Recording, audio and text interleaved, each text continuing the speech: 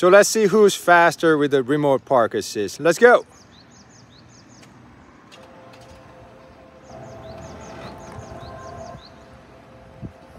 Okay, Kia Sorento takes the leap. So Kia Sorento is actually faster. Okay, pretty good.